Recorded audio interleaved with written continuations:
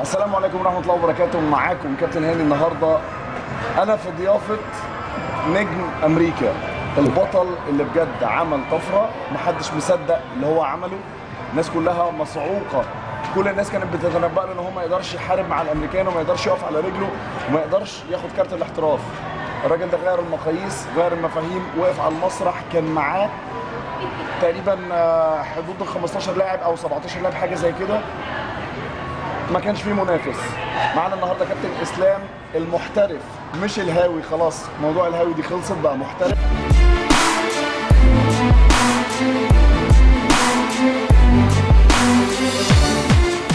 انت عارف إن دايما كان في صراعات ومشاكل حاجات كتيرة جدا كانت معرقلات جامد. جدا آه. إيه اللي إيه اللي غير النقلة؟ إيه اللي عمل النقلة دي؟ إيه اللي خلاك إن أنت تبقى تركز وتبقى بطل؟ وإحنا هنخوض في بعض التفاصيل شوية بس آه، خلينا نرجع من البداية. انت كنت في مصر واتقابلنا أنا وانت في مصر في بطولة. كابتن أحمد علي وكنت آه، ما شاء الله في كونديشن عالي قوي و- وقلت لي هاني أنا مش قادر أنا لازم أمشي. ف إيه اللي إيه اللي ما كنتش قادر منه؟ إيه اللي حاصل في مصر خلى عليك ضغوط كتيرة؟ بص بص يعني أنا أنا طول طول يعني طول ما أنت عندك هدف طول ما أنت بتحارب. صح. طول ما انت بت بتعافر في الدنيا انك توصل لهدفك ده والموضوع مش سهل. لأن انت عندك آه، آه، بتحارب حاجات كتير جدا في حياتك. بس أنا هحكي لك على الموقف الأخير ده. آه، أنا كنت بمر بظروف صعبة جدا في الفترة اللي فاتت دي. بما فيهم كانت موت أبويا. طبعا. بعدها كانت بعدها بثلاث أسابيع كان لازم إن أنا يعني أعمل برضه فايت إن أنا أحارب إن أنا إن أنا أقدر أسافر بطولة العالم في إسبانيا صح. عشان أمثل بلدي. آه خلال الثلاث أسابيع دول أنا كنت بمر بظروف صعبة جدا. يعني يعني المفروض تسمح لي إن أنا أقول للمشاهدين آه، اتفضل طبعا. الصعبة؟ آه طبعا. لا تسمح لي ولا ما آه طبعا؟ اللي هي اتفضل. طيب آه الراجل ده عامل مركز؟ وكان مستني المفروض المكافأة من الدولة. إحنا دلوقتي ما بنتكلمش على الاتحاد المصري لأن الاتحاد المصري وصل لمرحلة اللي هو قال جاي أنا ما مش عارف أعمل إيه. القرار قرار وزاري مش قراري. فخلاص حط بقى موضوع الاتحاد المصري على جنب دلوقتي.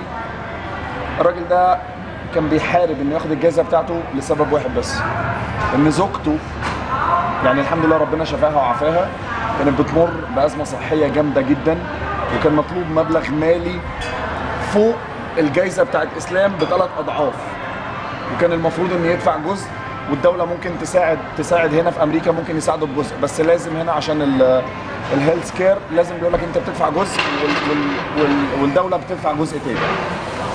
فإسلام كان عايز الجائزه دي عشان يعالج مراته. فالكارثة هنا إن ما لقاش حد يقف جنبه. ممكن تحكي لنا شوية بقى؟ بس أنا بيعتبر بعد ما موت أبويا كان المفروض أنا أسافر أسبانيا بعدها بثلاث أسابيع عشان ألعب بطولة العالم. والحمد لله قدرت طبعا إن أنا إن أنا أحارب صح. وأسافر وإن أنا أمثل بلدي وأعمل ثالث عالم. آه، رغم ان يعني أنا أنا شايف إلى حد ما كان في ظلم بس طبعا الحمد لله على كل شيء وفضل من عند ربنا وبركه دعوة الناس وال- والاهلي اللي وقفوا جنبي وكل حبايبي طبعا. قدرت إن أنا أقدر أوصل للمركز الثالث. المهم إن أنا رجعت. فرغم أن أنا ساعتها كمان يوم سفري ده أصلا كمان زوجتي كانت عملت حادثة يعني في نفس اليوم اللي أنا كنت مسافر فيه إسبانيا. بس طبعا ما فيش ما فيش حاجة بتوقفك. أنت دايما الناس لازم تشوفك إن أنت قوي الناس لازم تشوفك إن أنت ما بتستسلمش دايما بتضحك. بس فقمت رجعت من إسبانيا كنت منتظر من الدولة إن هي يعني مش منتظر من الدولة كنت منتظر من الاتحاد إن هو يسعفني. في المكافأة فضلت في. المكافأة فضلت طبعا أكلم كل يوم ال- حد من المسؤولين يعني بدون ذكر أسماء آه، يا إسلام إحنا بنحاول يا إسلام إحنا مش عارف إيه إسلام كل يوم طبعا الناس ما تعرفش شيء إسلام فاكره إن إسلام قاعد في أمريكا معاك فلوس. معاك فلوس آه. وأنا أصلا. أنا أصلا لو ما اشتغلتش أتكرش من المكان اللي أنا قاعد فيه أصلا فالناس فاكرة إن أنا عايش في أمريكا يعني ما شاء الله يعني معايا سبونسر ومعايا كباتن والناس ومعايا فلوس. فطبعا أنا أنا بس بف- بفهم الناس وبفهم الناس اللي بتحبني. أنا أنا يعني إزاي لو أنت عندك هدف مفيش حاجة بتوقفك الناس لازم دايما تشوفك إن أنت قوي. الناس لازم تشوفك إن أنت ما بت ما بتقعش. دايما بتضحك قادر على اللي أنت فيه. ما تنساش إن أنت بتحارب هنا حاجة اسمها العنصرية. بص أنا مش هقول لك على أنا بحارب قد إيه أو بحارب بحارب إيه. أنا بحارب حاجات كتير جدا بس بفضل ربنا سبحانه وتعالى وبركه بركة دعوة الناس اللي بتحبني وبركة دعوة أمي وزوجتي طبعا. أه الحمد لله بقدر إن احارب وبقدر أفضل أنا قوي وصامد قدام قدام المواجهات دي يعني. بس فأنا فضلت أكلم كل يوم المسؤول. أه قعد طبعا أه يمطوح فيا طبعا فكان لازم إن أنا الفترة دي اللي أنا لازم أسافر عشان أمضي تعهدات للعملية دي لأن كانت عملية حرجة جدا جدا. آه، عملية حساسة. حتى أنا قلت للمسؤولين ان العملية دي إيه؟ طبعا أنت يمكن عملت حتى لقاء معاهم. آه، ما لقيتش أي تقدير. ما لقيتش الأستاذ أحمد الشامي. آه، ربنا يخليه طبعا. اداني جزء من من المكافأة. وده كان حتى يعني كان جزء من ثمن التذكره اللي أنا أسافر بيها. وسافرت ورحت عملت العملية. آه توضيح العملية مش ليك لزوجتك. لزوجتي آه طبعا. عشان بس الأمر آه. ما يختلطش على الناس. في بقى موقف حصل هنا طبعا أنا أحب بس أبينه للناس. اتفضل. آه هي من شيمة الرجال يعني مش مش موقف إنساني. آه اتصلت برضه بنفس المسؤول. قلت له أنا مش مش قادر إن يعني أنا في أنا في حالة دلوقتي صعبة جدا. فكل اللي عايزه منك إنك تطلع لي قبضي حالة استثنائية حالة إنسانية. مرتبك الشهري. مرتبي الشهري لوالدتي يعني إنه يبعته لوالدتي. لقيت تجاهل تام منه. بس. أنا لما فشكرا. سألت- أنا لما سألت على السؤال ده أو طلبنا الموضوع ده من من المسؤولين كان الرد إن اللائحة بتقول طالما إسلام لم يتواجد على الأراضي المصرية فهو خارج. بص بص يا هاني بص يا هاني.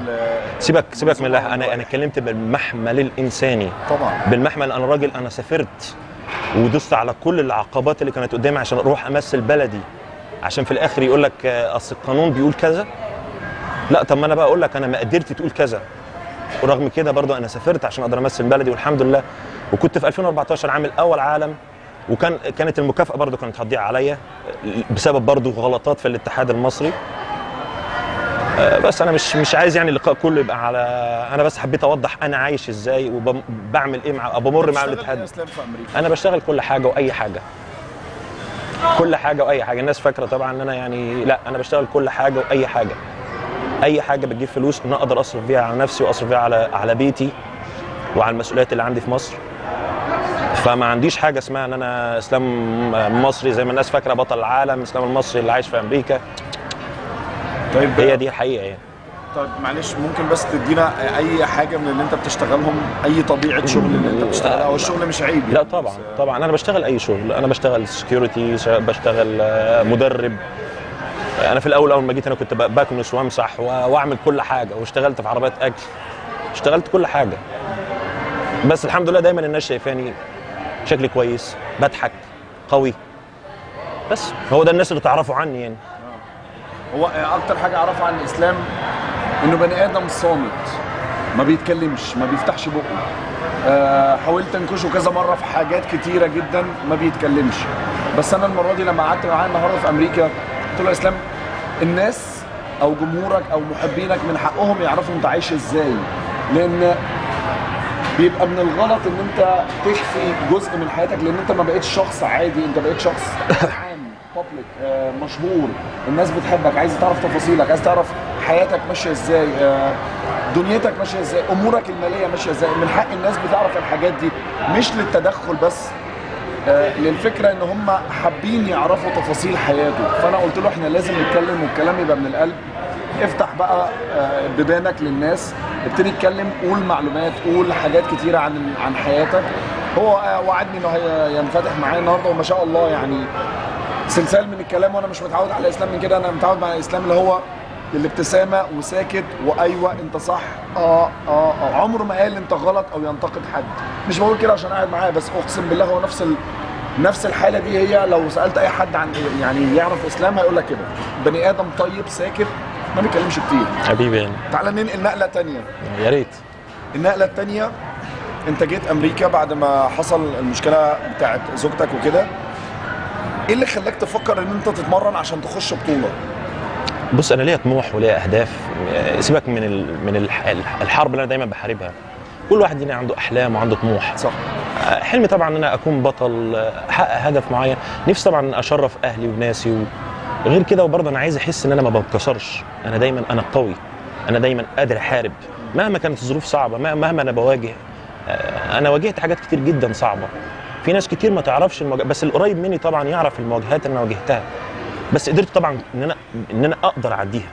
بفضل الله. آه، أنا ماليش ما- يعني ما ما فيش sponsor ما فيش مدربين ما لازم أشتغل عشان أقدر أجيب مكملاتي لازم أشتغل عشان أقدر أدفع الجيم لازم أشتغل عشان أقدر أدفع إيجاري لازم أشتغل عشان أقدر يعني أصرف على أولادي. زي عندنا في مصر أي في ما فيش الجيمات هنا ما بتستضيفش لا لا لا لا لا لا, إن أنت الكلام ده. أنت لو ما اشتغلتش ما تلاقيش تقعد في مكان تعيش فيه. آه. هنا انت عارف انت انت عشت في غربة وفاهم الغربة يعني إيه. غربة يعني tough يعني حياة صعبة. حياة ما بترحمش. طبعا. الناس فاكرة إن أنت عايش في أمريكا إن أنت بت- بتكبش وتاخد فلوس. يا ريت يا ريت. على فكرة من ساعة ما جينا هم اللي بياخدوا مننا الفلوس ولاد الذين. عمالين نصرف جامد قوي بس ما علينا. الطموح خدك إن أنت تركز وتلعب بطولة. اسلام كان مكتم على الموضوع خالص ما كانش قايل لحد إنه بيحضر تماما ما كانش قايل لحد كانت أصعب. فترة دي يعني. وفجاه ابتديت الاحظ ان ان في صور كده كانت بتنزل من فترة لفترة وانتوا عارفين إن طبعا يعني دي شغلانتي إن أنا أتابع ال- الأبطال. فأنا لقيت في تغير حتى وهو لابس. يعني ما إسلام ما بي- ما بيتصورش بتيشيرتات قالع كتير. فوهو لابس أنا حاسس إن في تغير. فبصراحة دخلت له في الغسل قلت له هو في إيه؟ فقال لي لا ما فيش حاجة عادي جدا وبتاع. قلت له لا الموضوع مش طبيعي. وعلى فكرة أنا جاي أمريكا عشان خاطر أغطي أولمبيا. هو سمع الخبر ان أنا جاي اولمبيا قال لي يا هاني طب أنا هقول لك على مفاجأة كمان. كنت بتصرف إزاي؟ كنت عايش يعني أنا عارف ان كانت الدنيا صعبة وضيقة عليك. إسلام إسلام حياته مش مش سهلة. فبرمي المسؤولية لحد تاني. الحد التاني ده هو اللي ياخد باله مني. مفيش حد هنا بيساعد حد. هنا مع نفسك. السؤال جاي اهو. دلوقتي انت بتقول ظروفك المادية مش تمام قوي حياتك صعبة عندك مشاكل صحية بالنسبة لزوجتك خطيت المحنة بتاعت الكام ساعة اللي قبل طلوع المسرح دي إزاي؟ بص